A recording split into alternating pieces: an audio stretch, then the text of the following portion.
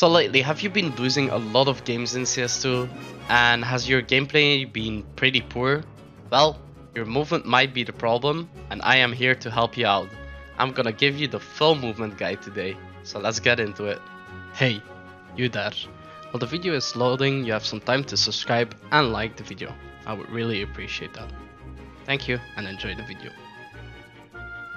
Welcome back Gingies to a new video. Today we're going to be talking about movement, why it's so important and how you get better at it. So the first thing I want to talk about in this guide is the importance of movement because you might be underestimating it. So you probably won't notice the importance of movement a lot of the times because it's a lot about timing. Take for example getting into window on Mirage. There is a slight difference in seconds if you do the movement correct and that might win you the gunfight. Alright, so let's take a look at what it looks like when you go into window quickly and when you go into window slowly and at the timing. Okay, so the first way.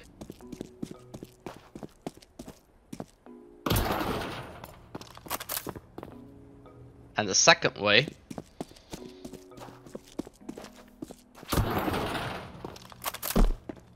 Alright, let's see how it looks side by side. As you can see, again, it's just a mere seconds of difference, but it's really important. You getting to a position earlier because of your movement than the enemy is really important in this game because you will have the advantage.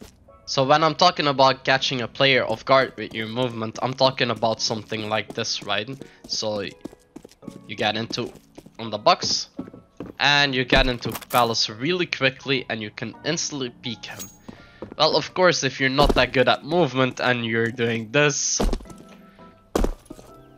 well, you might be at a big disadvantage. So, now that we have talked about the importance of movement and timing and how they work together, let's take a look at how you can actually take this to your advantage if your timing gets better. So how do you practice getting better at timing? Well, I think this comes with just playing the game, watching pro games. Because the only way that you will be learning when a player is gonna peek you, when a player is gonna be at a certain position, and how to improve your timing getting there is by practicing the game and playing the game. And of course, if you watch pro games, they are pretty good at getting their timing right. So you will learn a lot from watching their movement and them getting their timing right, and it will improve your movement and getting your timing right. So now that we have talked about how important movement is and timing and how you can improve on it, let's take a look at something called counter strafing. Okay, so what is counter strafing and how do I use it? Well, for this I'm gonna try something new. I'm gonna be recording my keyboard and I'm gonna be showing you how you can start counter strafing. So first off, I'll explain to you what the importance of counter strafing is. Well, if you take a look at my keyboard and you take a look at my gameplay, if I for example go to the right, my character stays in movement a little longer than when I let go of the key. So well, what this does is it makes you inaccurate when you shoot.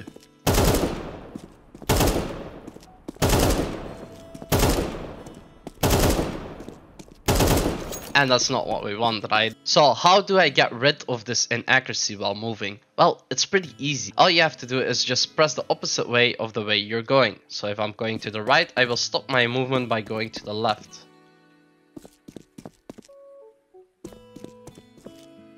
See? So how does this look with the accuracy of the gun? Well,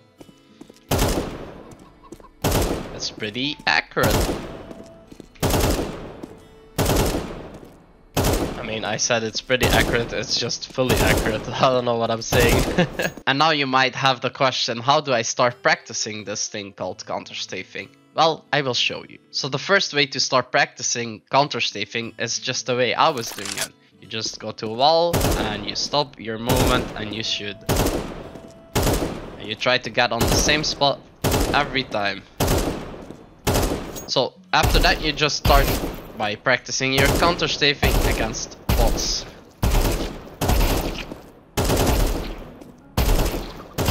Okay, the problem with this is I'm really trying to do my best to explain this to you, but it kind of comes natural to me because I've been playing this game for so long. I don't really think about counter strafing anymore. I just do it.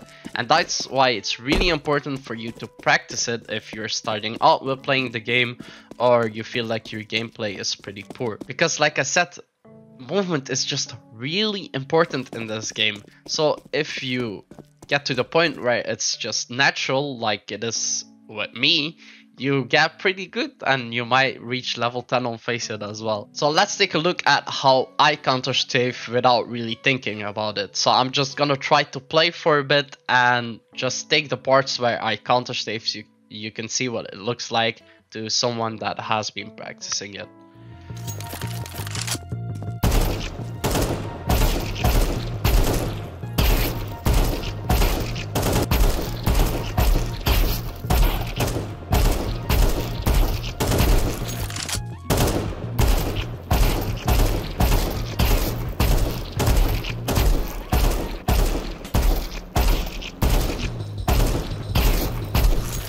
So let me tell you a little secret, but I will put up a disclaimer because people always complain if I don't do research and stuff in my videos, but this is just something I think helps me.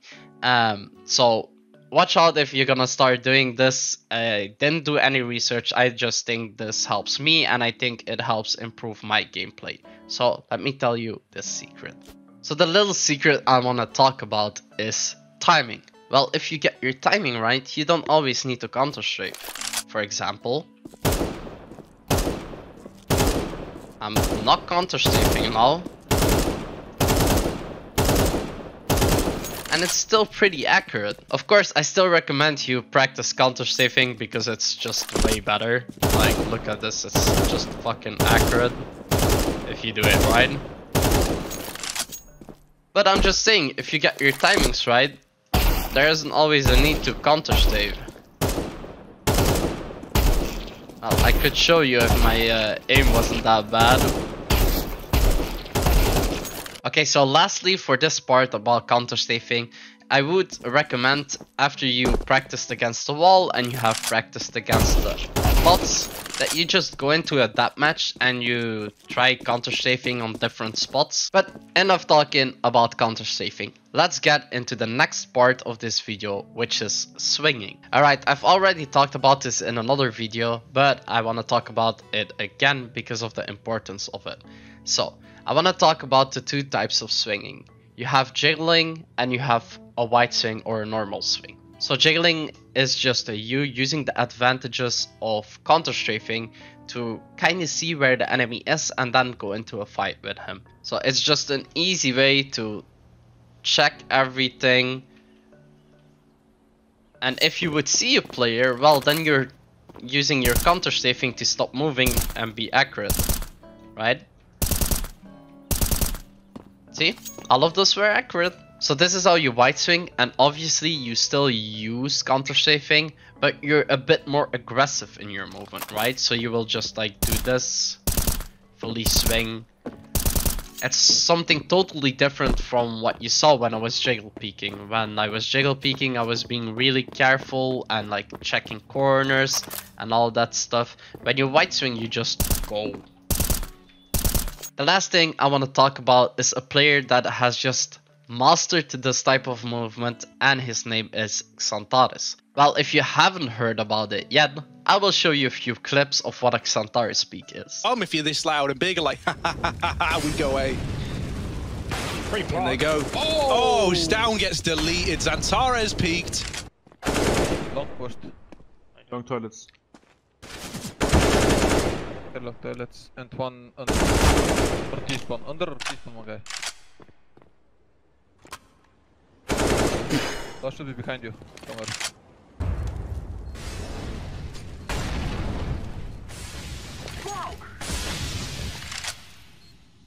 nice, oh, Xantares! So as you can see, a Xantares peek is just insane and it's really hard to explain and give a term to this, but the way I see it is just an aggressive peek while using a bit of counter strafing, maybe even using crouch strafe because sometimes he did that. No, he peeked and then he would crouch and stop his movement by doing that, and he would counter strafe and crouch, which it's basically just an aggressive peek that you can't do shit against. That's the way I would explain Xantares peek, but I'm interested in what you would say. Maybe you can give it a better definition, so let me know in the comments.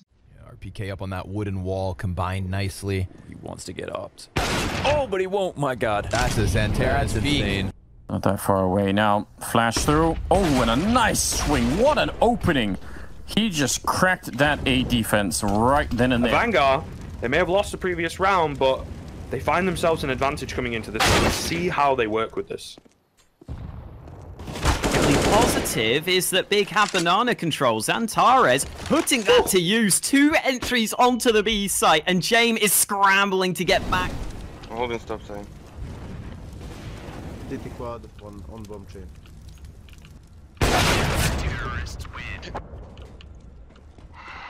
So I know this is some different type of content than I usually upload, but I really hope that I could explain to you what the importance of movement is with this video and that I was able to help you practice your counter strafing and get better at the game. The reason I try to explain this from a perspective, from my perspective, is because I am not a natural born CS player. I learned this game with the information I have I learned this game with the information I'm giving you now.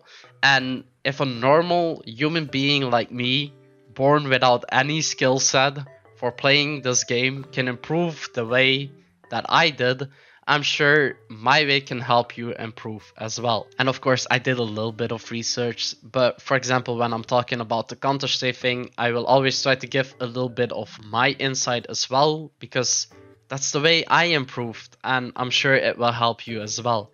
Because I'm not at level 10 without reason, guys. I did get better at the game because I did practice and I am pretty good now. But yeah, I don't want to go on a rant or anything. Um, so this is gonna be it for this video. If you have any other tips about movement or you have any questions, just ask them in the comments.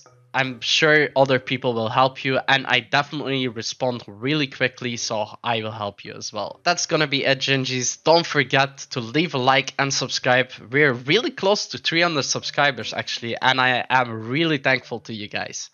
I hope this guide was able to help you with your counter strafing and you will improve your gameplay and you understand the importance of movement now movement is really important, guys. Don't underestimate timing and movement in this game. And that's gonna be it. I'll see you in the next one. I'm talking way too much. Peace out.